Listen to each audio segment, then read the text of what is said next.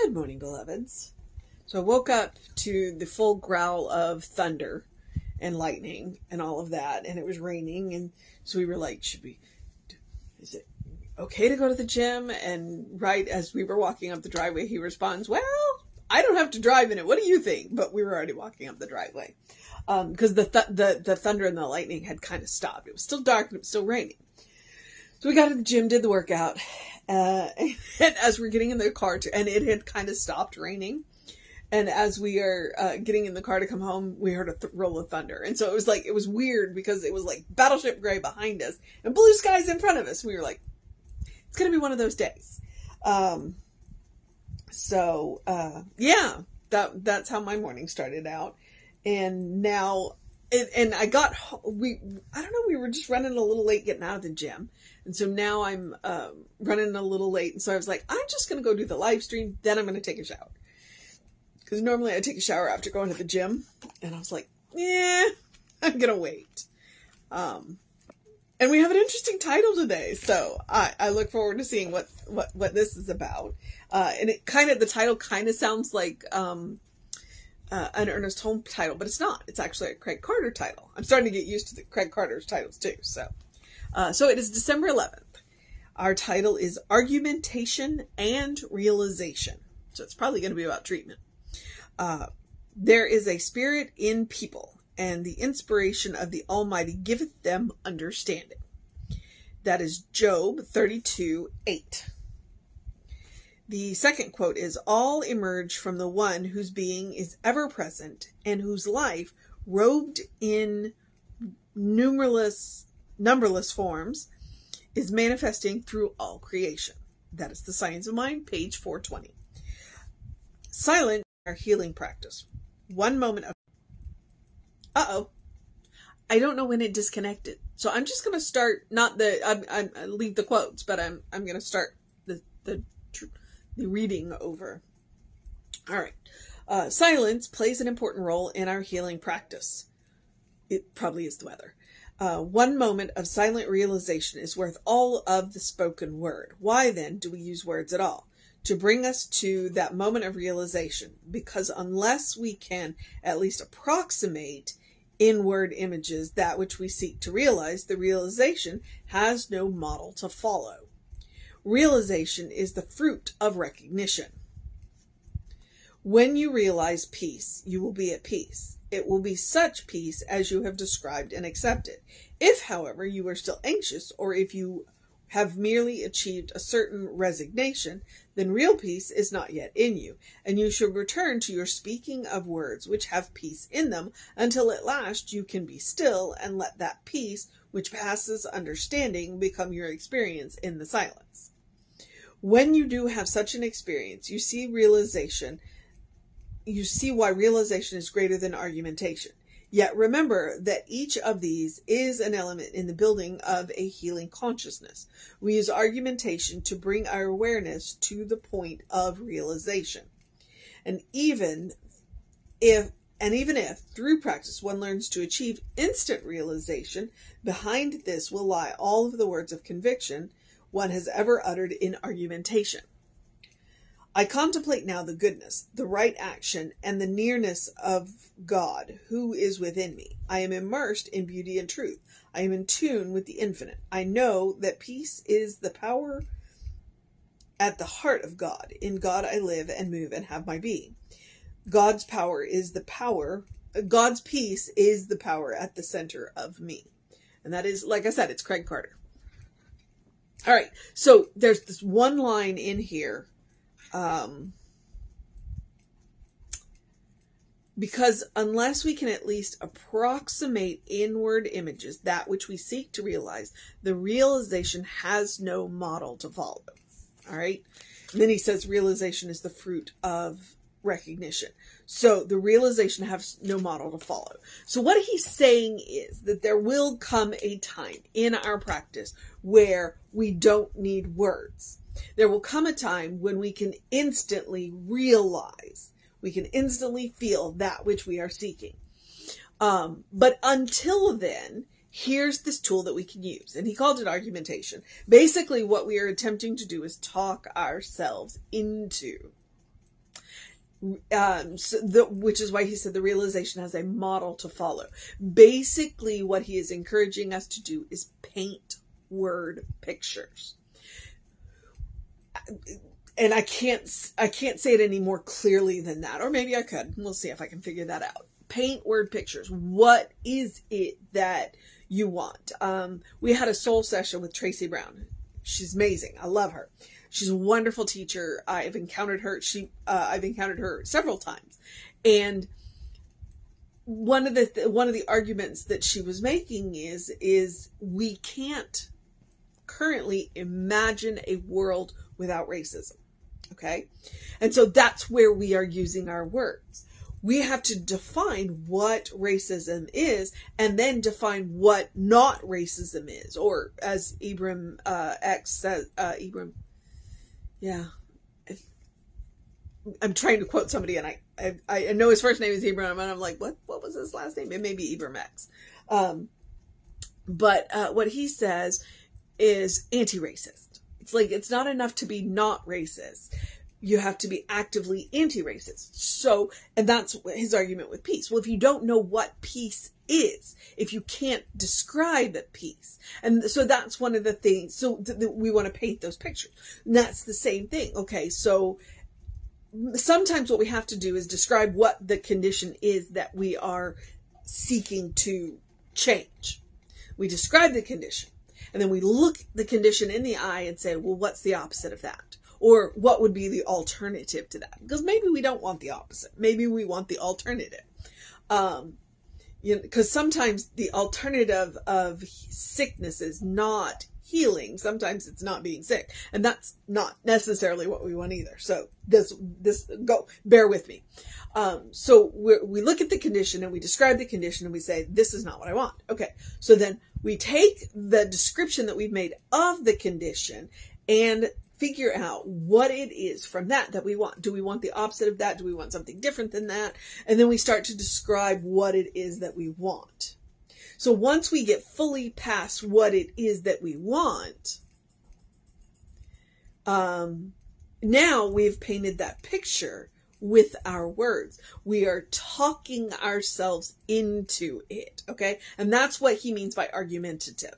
Um, it's it's we're talking ourselves into it and that is really honestly what a realization is uh, a realization is he says the fruit of recognition. It's like okay so um this is what we want. We recognize what it is in the full fullness of its glory and then we realize it. We accept it into our experience. And what we've done is talked ourselves into it. Okay? And that's the power of treatment. That is absolutely the power of treatment is where we use all of the words that we need to talk ourselves into the space. It's like we're not trying to talk ourselves into the because sometimes we don't we, we don't know what we want. That was me, you goofball.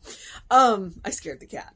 Um, so we're painting the word picture we are creating the model for the realization to flow into. All right. That is what he's talking about. And that is absolutely the power of treatment. Okay. So, uh, and that's why I liked that sentence so much. Out of all of it, out of all of everything that he said, um, that's why that sentence rings so true to me because unless we can at least approximate in word images, paint the picture with your words. And if painting the picture with your words doesn't work and you can actually paint or draw or, you know, whatever, create the image. Create the image of what it is that you seek. And you are welcome to start with the condition. It's like if you don't know what it is that you want, we'll start with the condition that you're working to heal. Okay. Say, all right, this is here. And that's what we call looking, looking the, the, looking the facts in the face. It's like, we, we never ignore that this is what is, but we acknowledge that there's a greater truth behind it and we talk ourselves to that greater truth. So, because unless we can at least approximate inward images that which we seek to realize, the realization has no model to follow. Create the model in whatever medium makes the most sense to you.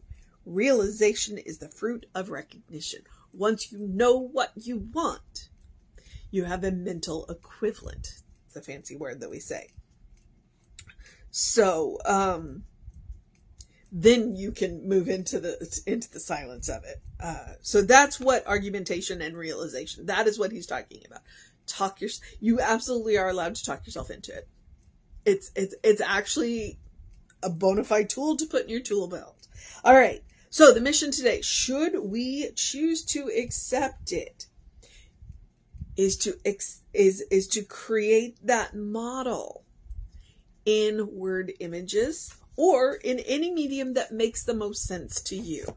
That is that is what we are doing here. That is what we teach here. That is the point of spiritual treatment. Um, it's to create the model, the mental equivalent, the feeling, and to signal spirit of our willingness to accept it. Because he did say that later on in the in in in the um in the treatment. It's like um, if you've merely achieved a certain resignation, that's not what we're going for. Go back and add more words. Go back and add more words. So that is the mission today to create in word images your model. Or, like I said, in any medium you want. I, I've got, I know some pretty talented painters, and if you can paint what you want, go for it. Uh, all right, so that is the mission today. The other mission is the same mission I give you every day, which is is a spiritual practice of doing something loving for yourself, doing something kind for yourself, doing something compassionate for yourself, whatever that looks like. Um, occasionally, it's you know pushing yourself, and occasionally it's not pushing yourself. I got up today. I looked at the. I can't find my wrist brace for nothing. Um, I have no idea where they are and because I have two and I can't find either one of them. And I looked at the knee brace and I was like, you know what? I just don't want to do it today. Uh, and I didn't. And what he, and he mostly focused on my shoulders anyway, but, um, uh, he, there was nothing that he asked me that I, I didn't think I could do. And I think it, that was a loving, kind, and compassionate thing for me to not wear the knee braces. Sometimes I think we, we get, we will lean into things and we get, we use them as a crutch. And honestly, that's sometimes what it looks like.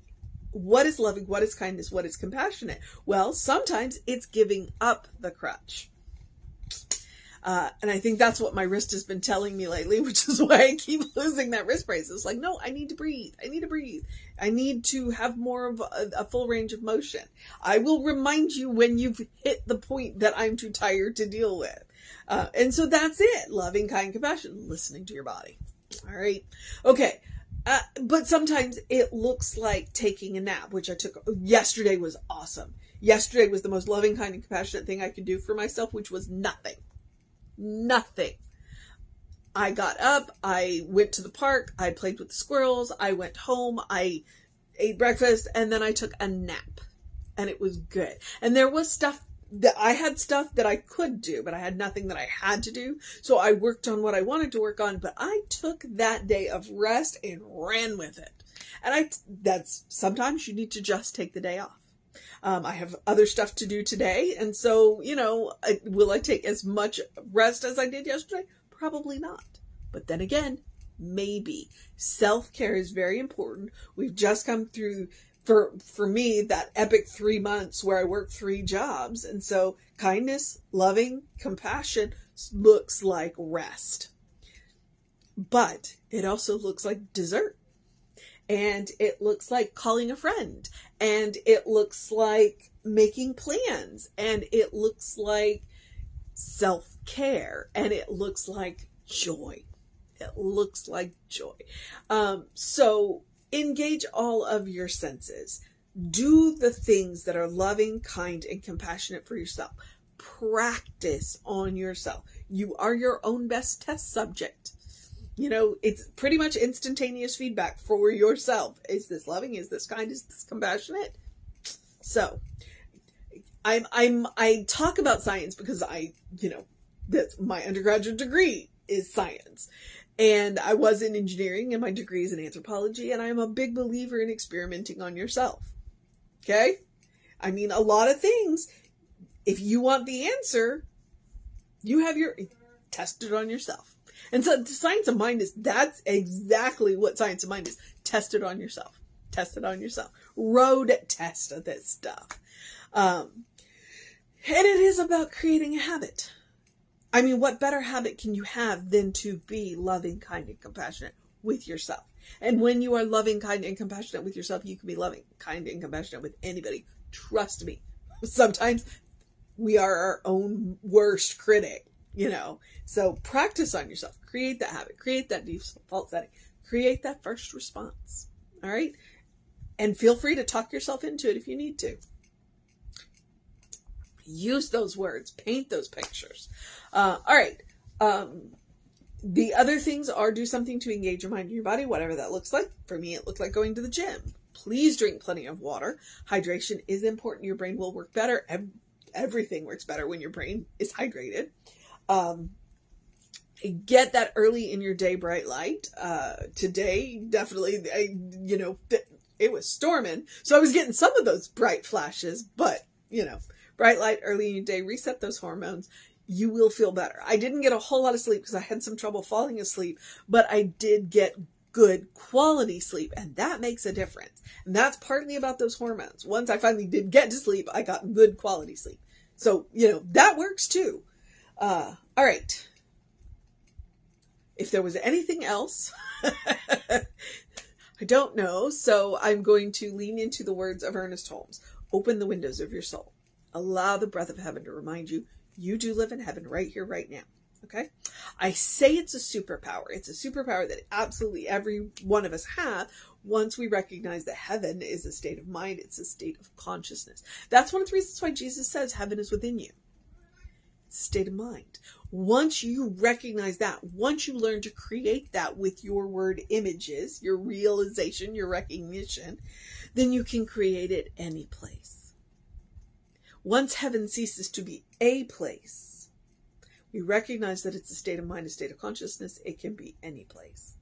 And if that is not the coolest thing ever, then I don't know what's cool. All right.